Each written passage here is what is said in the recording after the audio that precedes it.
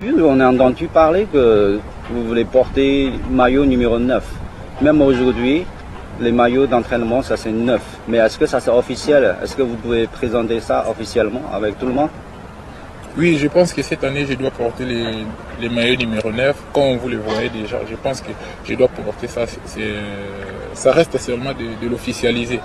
Mais moi-même aussi, j'accepte et j'aime trop les numéros 9. Le meilleur buteur de Ligue, Ligue 2, mais maintenant tu es venu en Ligue 1. Est-ce qu'il y a beaucoup de pression?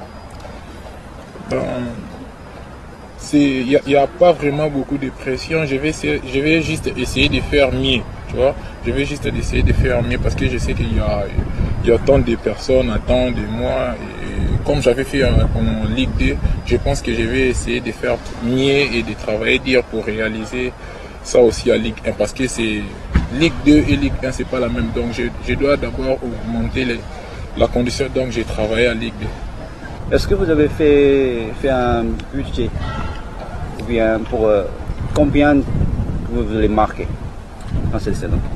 Euh, pour, cette saison, je ne peux pas faire le budget si je peux marquer combien de buts, mais je, suis sûr de, de, réaliser toutes les opportunités que j'aurai si j'ai eu la chance de marquer 30, je pense que je vais marquer 30, 50, 50, 20, 20. Donc, je vais essayer de saisir les opportunités, comme j'avais fait l'année passée.